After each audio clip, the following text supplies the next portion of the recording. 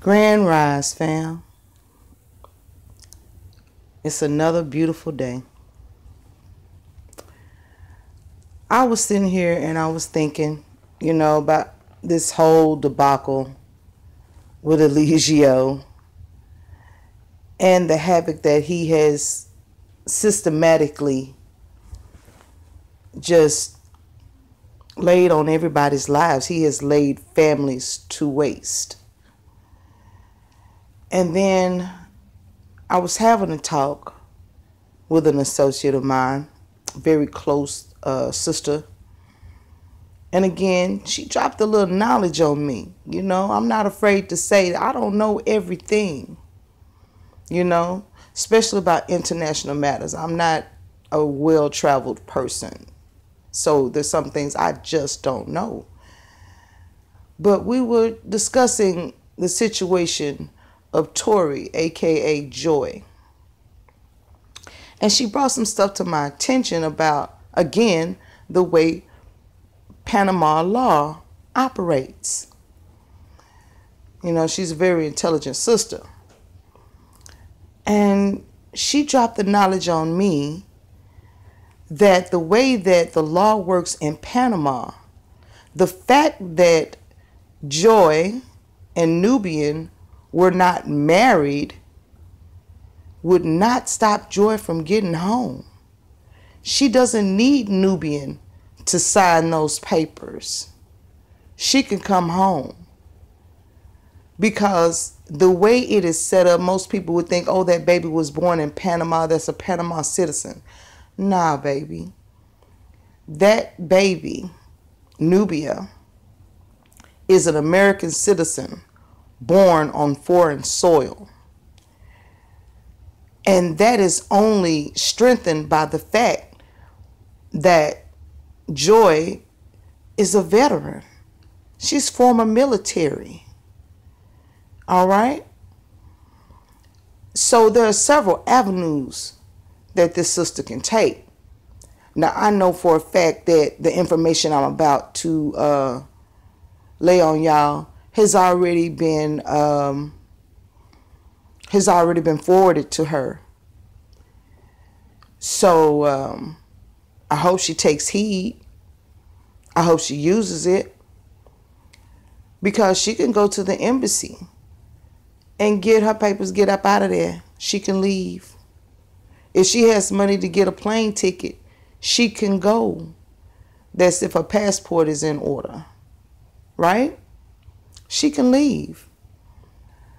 So, um,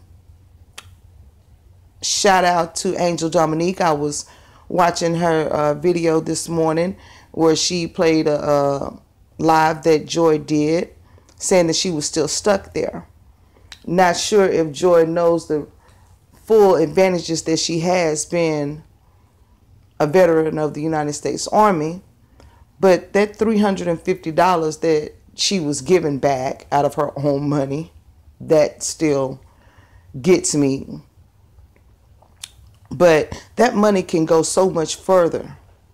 Because if there is an army base or an army outpost anywhere in Panama, being a veteran, she can go to that army base and live on base. They will honor that because she is a veteran and she's served her and her baby. They can be in a place of safety.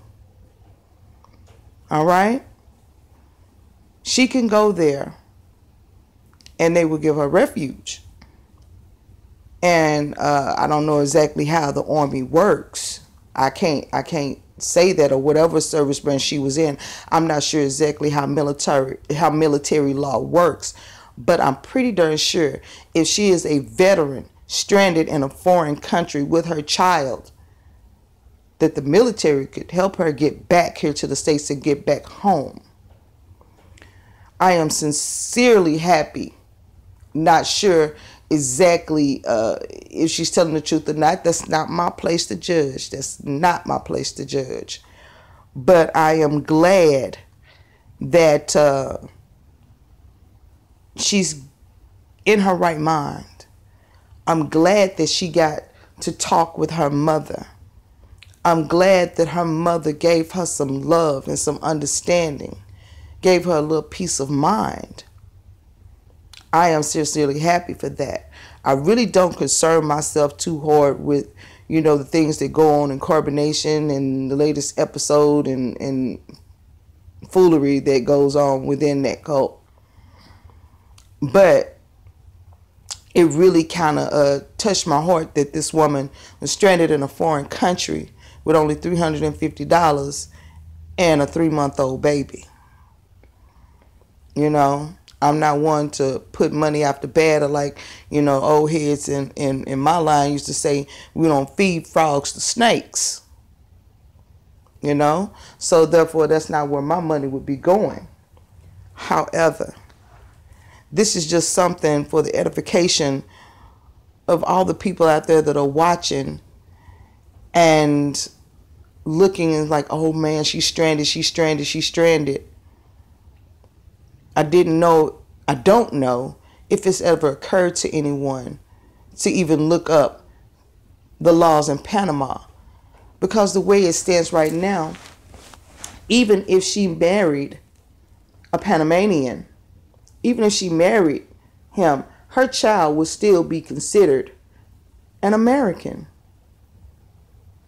It would not be considered a Panamanian citizen just because its father was Panamanian. It would go with the mother's nationality because she is still an American citizen. That child is an American citizen born on foreign soil. And reiterate that. Therefore, it has rights under American citizenship. But the fact that she had that baby with Nubian, she doesn't need Nubian's signature. They were not legally married. You know, um, I'm from the South, y'all. So, you know, what they were doing is what we call shacking. All right? They were shacking and they just happened to have a baby together. So while that baby does share that parentage with both of them, that baby can still come home. She doesn't need Nubian's signature on a piece of paper to bring her and her child home. So if that's all that's stopping her, baby, the road is clear, Tori. You go to the embassy. You do what you got to do. You don't need his signature if there's an army base within your reach, take advantage of that, sweetheart. You serve this country. Let this country give you something back and get you home. Use your veteran status to get you back home. That's just a little bit of information I don't know if anybody has even thought about or even thought to look up because I hadn't. But I'm thankful for the sisterhood that's willing to impart information and pass it on. So I'm going to do my part in the sisterhood and I'm passing it on. But I do know that this information has been forwarded to her. So now it just remains to be seen. Like my son says, you got to want it. How bad does she want to come home? Will she take this information that has been forwarded to her and use it to the best of her ability for the good of her and her child? That remains to be seen.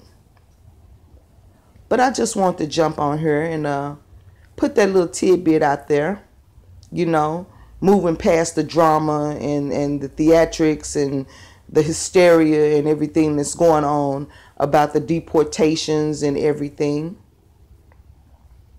just want to lay a little law out there.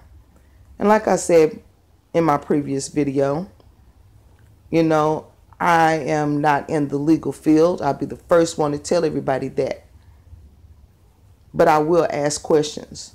I will do a little research to find out what's going on. But again, you don't need Nubian's help to get out of that country, sweetheart use what you got. You have veteran status. You and your baby are American citizens. Use it. And get yourself and your baby home to safety. Like you said in your video, if that's truly what you want, you have an open avenue. It's time to, I mean, you've already gotten started on that long walk home, baby. You don't made great strides. Keep walking, baby. You'll get there. This is Indigo, y'all. I got to get back to my daily life. I just want to drop that. Y'all be good to yourselves. Self love is key. Love yourself or you can't love nobody else. And can't nobody love you because you haven't shown them how. Peace out.